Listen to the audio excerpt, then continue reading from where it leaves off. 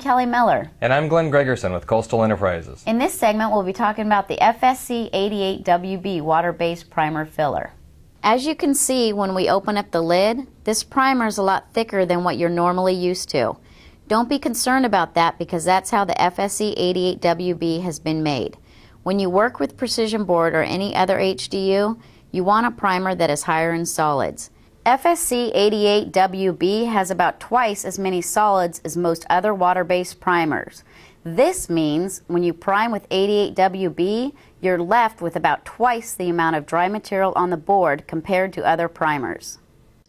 This means less priming, less production time, and that means a more profitable job.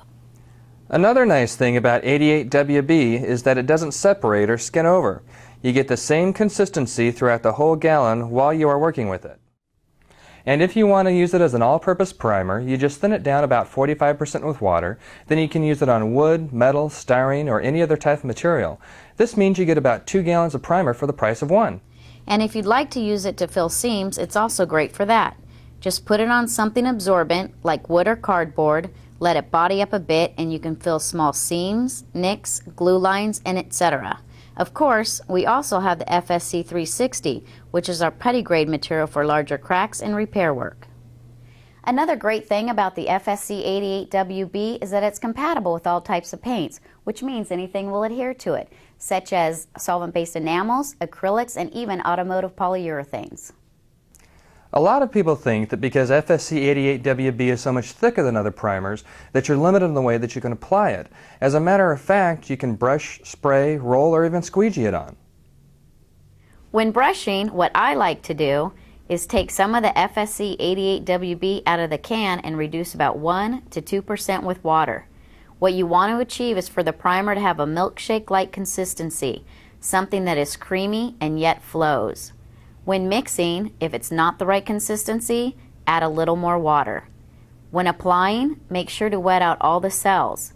This means to prime in a couple different directions first to make sure that the primer is pushed down into the cut cells.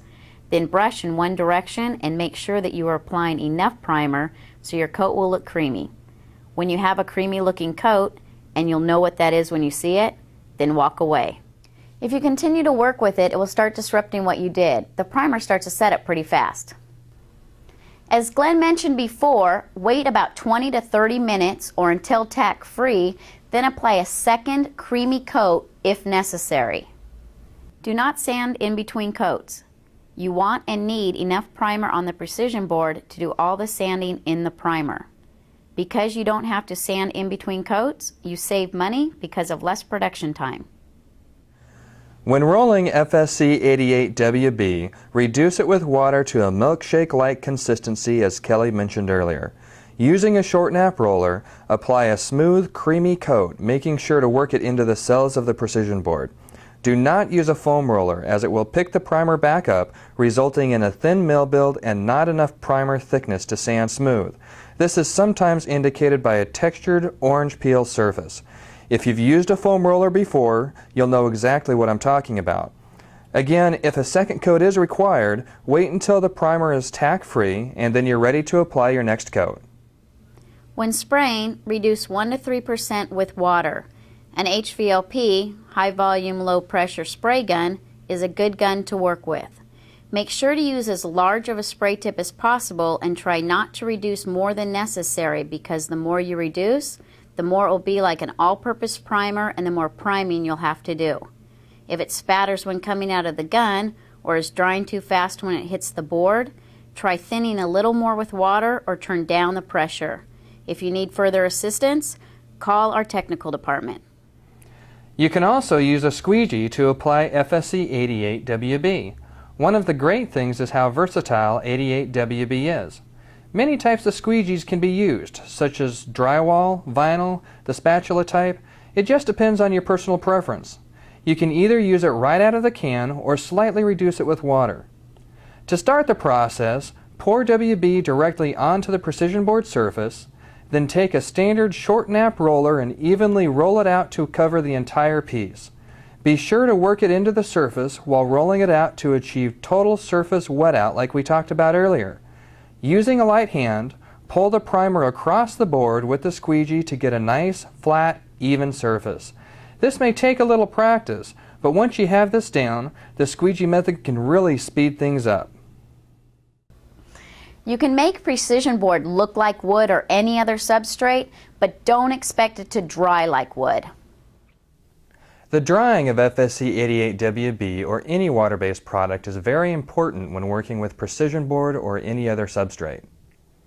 Just like we talked about in the precision board section, precision board is a closed cell product and everything dries through the top. We recommend putting the prime piece under a shop fan for at least 4 hours before sanding Yes, FSC 88WB does dry faster than most other water-based primers because of the high amount of solids. However, drying time will vary in different parts of the country depending on heat and humidity. Now that the sign has been sitting under the fan for four hours, it is ready to test to make sure the primer is dry. We recommend sanding with 220 grit sandpaper in a couple of different areas across your sign. It's a good idea to do it in several areas since it's possible the primer has been applied in different thicknesses. If any balling or streaking occurs on your sandpaper, then put the item back under the shop fan for a little while longer. When the primer is completely dry in all areas, it will powder when sanded. At this point, you are ready to completely sand the rest of your sign. After sanding, the last thing to do before painting or masking even if your sign has sat for one month, a day, or was just sanded, is to place it back under the shop fan for at least one hour. Having the fan blow over the prime sign for at least an hour will prevent any complications from moisture reabsorption. Moisture reabsorption is caused from moisture in the air returning back into the dried primer. Moisture is always looking for a dry place to go. As we all know, the same thing is happening with wood. While we've controlled the little amount of water we've manufactured into the WB primer, we cannot control the amount of water out there in the environment. So always use a shop fan. As we have mentioned, precision board is a closed cell material that does not absorb anything. This is a great feature of precision board that allows it to outlast wood by at least 10 times. However, since precision board does not absorb like wood, it must be primed and painted differently with different considerations. If materials like primers are not allowed to fully dry during the priming and painting process, blistering will usually occur. Delamination can also occur from applying any mask, such as sandblast, router, or spray mask over the primer or paint before it is totally dry. Let's take these situations one at a time. Usually, paint blistering is caused from applying paint over the primer before the primer has completely dried. Since Precision Board does not absorb anything, the vapor drive of the drying primer cannot go any other way but out. When this outgassing pushes up against the paint hard enough, it stretches the paint and creates a blister. This blister will be a combination of primer and paint. Another common reason for paint blisters is that the sign was placed in the sun for the paint to dry or was installed before the paint had completely cured. The result is that the sun and the heat really speeds up the drying of the paint. As the paint skin gets thicker and thicker, the paint vapors cannot pass through fast enough without building up pressure. When the paint skin is pushed hard enough by this outgassing pressure, it will create blisters. These paint blisters, as they pull loose, will usually take some primer with them. You can prove this to yourself by cutting open a blister and looking at the underside. You will see indications of paint and or primer sticking to the inside of the blister, with some still remaining adhered to the precision board.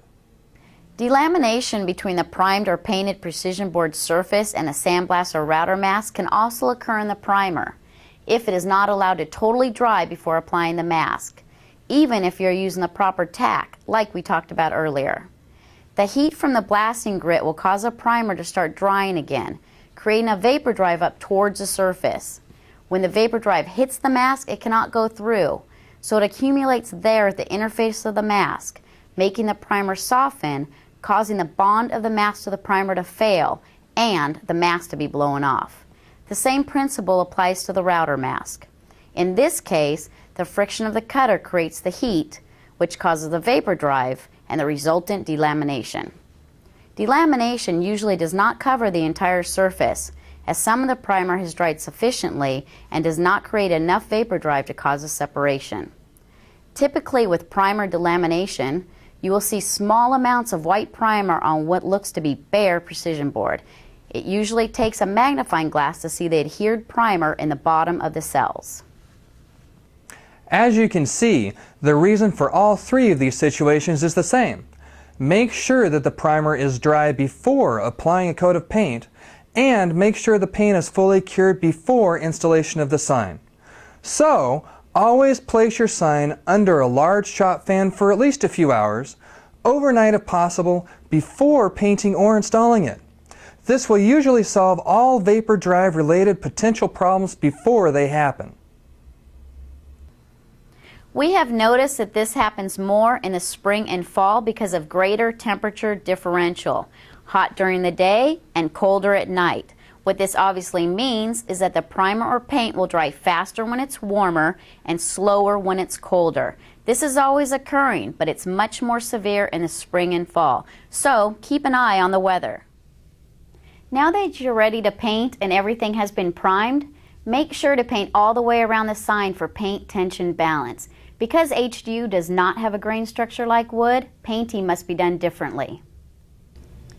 Paint needs to be applied to all sides of your sign in the same amount of coats and thickness to keep the paint from pulling in the direction of the thicker coat. This has become more important because paint manufacturers are changing formulations to meet the ever-changing clean air laws. These changes have made the paint last longer, which is good, but it also means that it's stronger and tends to shrink more as it cures, which can cause bowing and warping. It does not matter if the paint is the same color on both sides.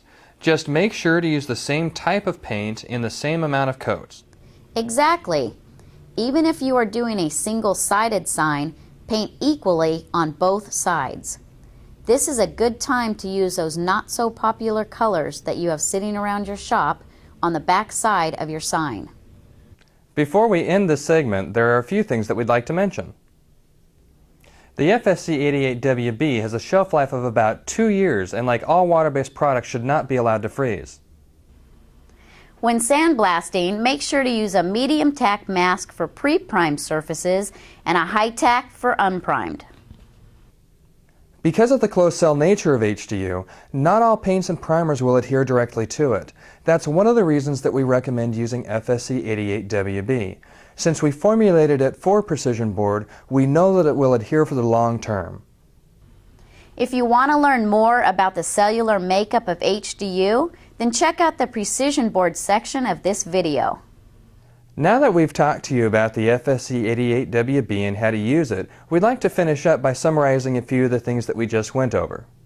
You can brush, spray, roll, or squeegee it, slightly reduce with water, and apply in a creamy coat. Do not sand between coats. You want and need the primer thickness. It's compatible with all types of paints. Make sure to use a shop fan over the surface before painting or masking. Do not dry outside. Do not go too fast. Allow for adequate drying time.